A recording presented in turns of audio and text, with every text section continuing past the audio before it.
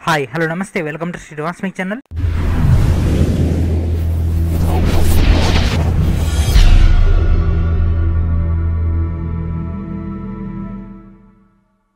ఈరోజు రోజు ఈ వీడియో మనం ఇండియన్ జోగ్రఫీ యొక్క క్లాస్ ట్వంటీలో భాగంగా వైల్డ్ లైఫ్ ప్రొటెక్షన్ సంబంధించినటువంటి మెయిన్ డేటాను డిస్కస్ చేద్దాం. అండ్ దీంట్లో మనకి ఒక వైల్డ్ లైఫ్ శాంచరీస్ గురించి డీటెయిల్గా డిస్కస్ చేసుకుందాం. ఆల్ ఓవర్ ద ఇండియాలో ఉన్నటువంటి అన్ని శాంచరీస్ అదేవిధంగా వాటి యొక్క స్పెషాలిటీస్ అదేవిధంగా కొన్ని ఇంపార్టెంట్ అయినటువంటి పాయింట్స్ని డిస్కస్ చేసుకుందాం. So according to Indian constitution కనుక తీసుకున్నట్లయితే ఆర్టికల్ నెంబర్ ఫార్టీ ఎయిట్ అదేవిధంగా ఫిఫ్టీ వన్ ఏలో ఉన్నటువంటి ప్రాథమిక విధులను అనుసరించి వన్యప్రాణి సంరక్షణకు కేంద్ర అదేవిధంగా రాష్ట్ర ప్రభుత్వాలు కలిసి కొన్ని చట్టాలను తీసుకురావడం జరిగింది. అదేవిధంగా వరల్డ్ వైడ్ కనుక తీసుకున్నట్లయితే ప్రపంచ వన్యప్రాణి సంరక్షణ దినోత్సవం వచ్చేసి మార్చి మూడు. So three three wildlife protection వన్యప్రాణి సంరక్షణ దినోత్సవం త్రీ త్రీ అంటే మార్చి త్రీన కండక్ట్ చేస్తున్నారు. అదేవిధంగా ఫస్ట్ లోక్సభ ఎలక్షన్ జరిగినటువంటి నైన్టీన్ ఫిఫ్టీ టూలో Indian board for wild life అనేటటువంటి సంస్థని ప్రధానమంత్రి ప్రైమ్ మినిస్టర్ యొక్క అధ్యక్షతన దీన్ని ఏర్పాటు చేయడం జరిగింది. అదేవిధంగా నైన్టీన్ సెవెంటీ టూ వన్యప్రాణి మృగ సంరక్షణ చట్టాన్ని కూడా తీసుకురావడం జరిగింది. అండ్ అదేవిధంగా దీంట్లో మినహాయింపు ఇచ్చింది మాత్రం జమ్మూ కాశ్మీర్కి. ఎందుకంటే వీళ్ళకి ప్రత్యేకమైనటువంటి రాజ్యాంగం ఉంది.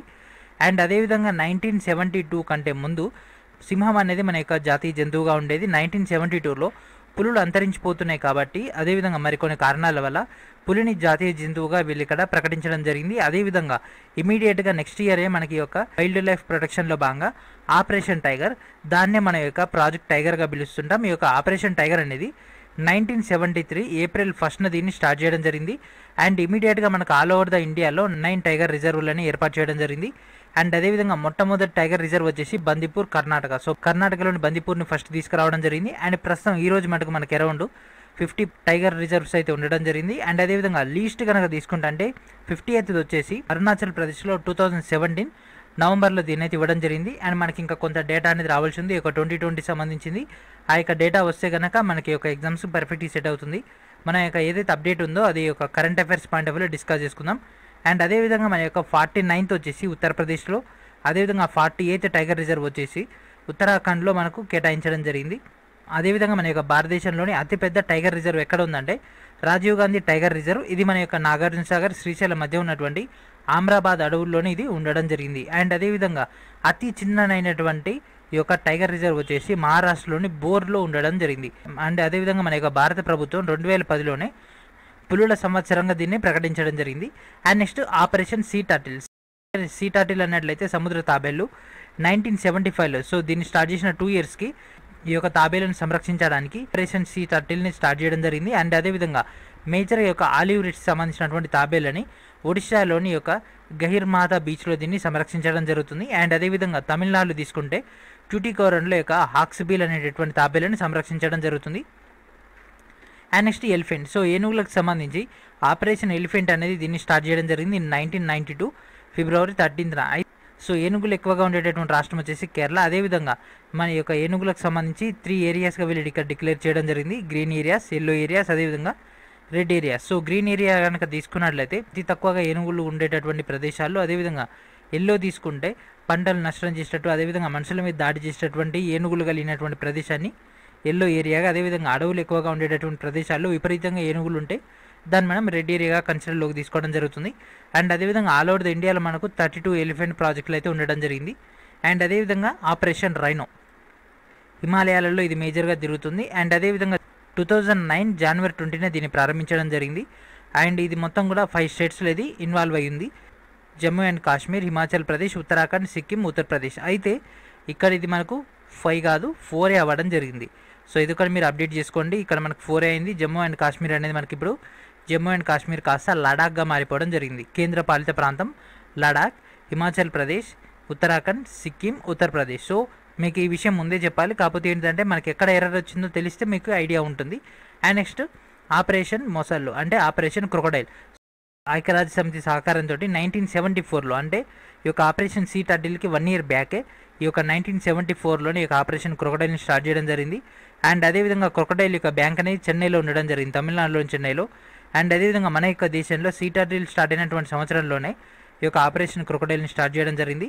అండ్ అతివేగంగా అంతరించిపోతున్నటువంటి మొసళ్ళ జాతుల్లో గరియల్ జాతి ఒకటి. అదంతా కూడా మనకు పర్టికులర్ అయినటువంటి జంతువులకు సంబంధించింది. అండ్ అదేవిధంగా ఓవరాల్గా ఉన్నటువంటి అన్ని జీవులకు సంబంధించి కొన్ని ప్రత్యేకమైనటువంటి పరిస్థితులను కల్పించడానికి ఏర్పాటు చేసిన ఈ యొక్క బయోస్పియర్ రిజర్వ్స్ అంటే పర్టికులర్ అడవిని వీళ్ళు హోల్డ్ చేస్తారు. ఆ యొక్క అడవిలో ఉన్నటువంటి అన్ని జీవులను కూడా సంరక్షించినట్టే అవుతుంది. కాబట్టి వీళ్ళు పర్టికులర్ ఏరియాని వీళ్ళు హోల్డ్ చేయడం జరిగింది. దాంట్లో మనకి ఇక్కడ కొన్ని రిజర్వులు అయితే ఉండడం జరిగింది. దాన్ని మనం బయోస్పియర్ రిజర్వులు అంటాం. మన యొక్క భారతదేశంలోని మొట్టమొదటి బయోస్పియర్ నీలగిరిలో ఉండడం జరిగింది. నైన్టీన్ ఎయిటీ సిక్స్ అదేవిధంగా లాస్ట్ వచ్చింది టూ థౌజండ్ ఎలెవెన్లోని పన్నార్ రిజర్వ్ అండ్ అదేవిధంగా మనకి ఇక్కడ యునెస్కో గుర్తింపు పొందినవి కూడా ఉండడం జరిగింది. ఉన్నటువంటి ఎయిటీన్లలో ఫస్ట్ వచ్చేసి గల్ఫ్ ఆఫ్ మన్నార్ అదేవిధంగా నీలగిరి. ఈ రెండు కూడా తమిళనాడులో ఉన్నాయి. పశ్చిమ బెంగాల్లోని సుందర్బన్స్ ఇవి చాలా చాలా ఫేమస్ మడ అడవులకి.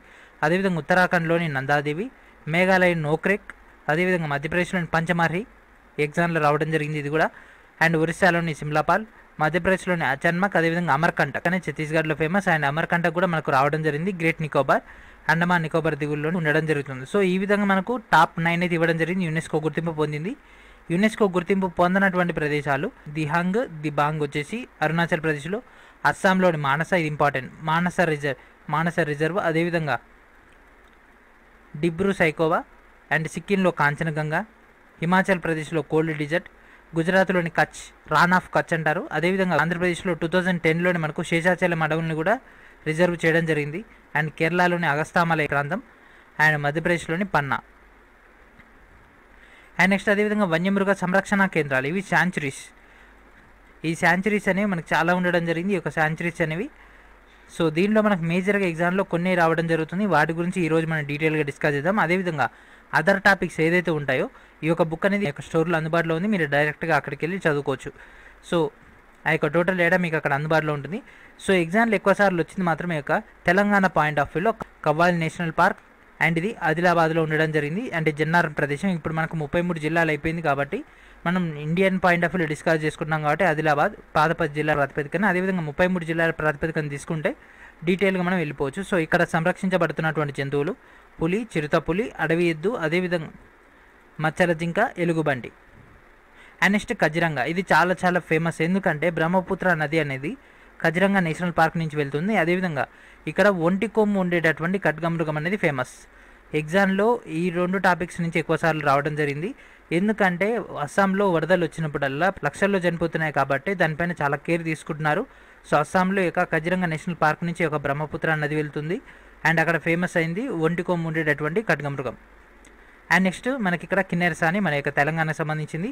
అండ్ నెక్స్ట్ ఘన బర్డ్స్ సంబంధించినటువంటి శాంచురీ ఇది భరత్పూర్లో ఉండడం జరిగింది రాజస్థాన్. అండ్ ఇక్కడ మనకు మొత్తం కూడా పక్షులకు సంబంధించినటువంటి ప్రత్యేకమైనటువంటి ప్రదేశం ఉంది. అండ్ దుద్వా జాతీయ పార్క్. ఇది ఉత్తరప్రదేశ్లో ఉండడం జరిగింది. మనకి ఒక ప్రదేశాలు ఏ అవసరం లేవు కానీ స్టేట్స్ అడుగుతున్నారు. అండ్ ఇక్కడ మనకు ఫేమస్ అయింది బార్కింగ్ జింక అదేవిధంగా సాంబార్ మచ్చల జింక. అండ్ అదేవిధంగా మన గతంలో వచ్చినటువంటి డేటా కనుక తీసుకుంటే రంగన్ తిట్టు ఈ యొక్క రంగన్ తిట్టు అనేది కూడా బర్డ్ శాంచురీ. అదేవిధంగా ఇది కర్ణాటకలో ఉండడం జరిగింది. And next Ghataprabha. So Ghataprabha కూడా పక్షులకు సంబంధించింది. సో మనకు ఒకసారి మొత్తం కూడా పక్షుల గురించి ఇస్తున్నాడు ఒకసారి మొత్తం కూడా జంతువుల గురించి ఇవ్వడం జరుగుతుంది. లైక్ టైగర్ ఓరియంటెడ్ ఉన్నటువంటి డేటా ఒకసారి మొత్తం కూడా ఈ యొక్క సీ టర్టిల్ సంబంధించి అదేవిధంగా ఎలిఫెంట్ సంబంధించి ఆ విధంగా అడుగుతున్నారు కాబట్టి వీటన్నిటిని కూడా మీరు పాయింట్అవుట్ చేసుకోండి. అంటే బర్డ్స్ అన్నిటి కూడా ఒక దగ్గర రాసుకోండి. సో వస్తే మాత్రం దానిలోంచి మనకు జతపరచడం అడుగుతున్నాడు. బర్డ్ శాంచురీ అంటే ఈ విధంగా జతపరచడం. మొత్తం నాలుగు బర్డ్ శాంచురీస్ ఇస్తున్నాడు. వాటి యొక్క లొకేషన్స్ ఇస్తున్నాడు కాబట్టి ఈ విధంగా మీరు ప్రిపేర్ అయితే సరిపోతుంది. అండ్ నెక్స్ట్ గడప్రభ వచ్చేసి కర్ణాటకలో ఉంది.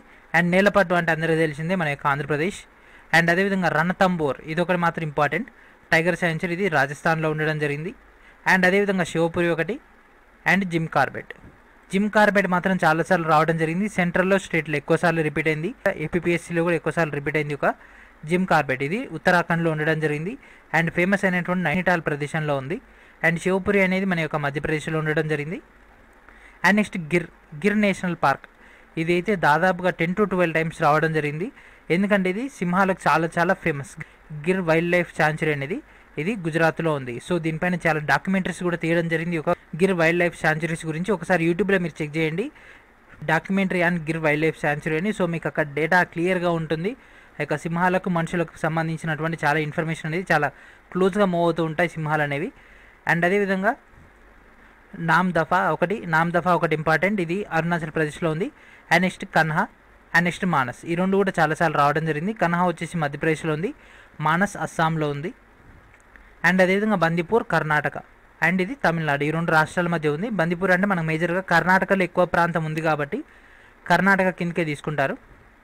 సో ఈ విధంగా మనకు ఫేమస్ అయినటువంటి ఎగ్జామ్లో రిపీట్ అయినటువంటి హైలైటెడ్ అయినటువంటి టాపిక్స్ ఇవి. అండ్ అదేవిధంగా వీటి యొక్క మెయిన్ డేటాతో పాటు ఇక్కడ ఉన్నటువంటి ప్రదేశంలో వాటి యొక్క ఏదైతే సంతతి ఎక్కువగా ఉందో వాటికి సంబంధించి కూడా మీరు ఒకసారి చెక్ చేయండి. మోస్ట్లీ యొక్క నేమ్స్ అన్నింటిని కూడా మీరు యూట్యూబ్లో సెర్చ్ చేయండి. మీకు మొత్తం డీటెయిల్ డేటా వస్తుంది. అండ్ ఈ యొక్క మొత్తం మెటీరియల్ కావాలనుకుంటే ఈ వీడియో కింద ఉన్నటువంటి డిస్క్రిప్షన్లో మన యొక్క స్టోర్ లింక్ ఉంది. అక్కడికి వెళ్ళి మీరు యొక్క టోటల్ డేటాను గ్యాదర్ చేసుకోవచ్చు. అదేవిధంగా అటవీ ఉద్యమాలు కూడా డిస్కస్ చేసుకుందాం ఎట్లాగో మనకు ఫారెస్ట్ సంబంధించి రిలేటెడ్ వచ్చింది కాబట్టి. అయితే ఒక ఫారెస్ట్ సంబంధించి ఫేమస్ అయినవి మాత్రం నాలుగు ఉన్నాయి. అందరికి తెలిసిందేమో చిప్కో ఉద్యమం. ఇది సుందర్లాల్ బహుగుణ యొక్క ఆధ్వర్యంలో జరిగినటువంటి ఉద్యమం. ఇది ఎక్కడ జరిగిందంటే ఇది ఉత్తరాఖండ్లో జరిగింది. ఉత్తరాఖండ్లోని చెమ్మైలి జిల్లాలో సో చెట్లను నరకకుండా ప్రతి ఒక్కరు కూడా చెట్లను హత్తుకోవడం జరిగింది. సో దానివల్ల చెట్లను కాపాడుకోవడం జరిగింది. అండ్ అదేవిధంగా సైలెంట్ వ్యాలీ ఉద్యమం. ఇది ఒక నది పైన జరిగింది. నదిపైన ఆనకట్ట కట్టకుండా అంటే కుంతి పూజ నదిపైన ఆనకట్ట కట్టకుండా ఇక్కడ నిరసన వచ్చింది. దాన్ని మనం సైలెంట్ వ్యాలీ ఉద్యమం అంటాం. అదేవిధంగా నర్మదా బచావు పేరులోనే ఉంది.